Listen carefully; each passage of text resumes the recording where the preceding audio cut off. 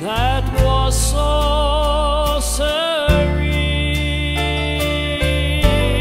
and all that he asked is a child.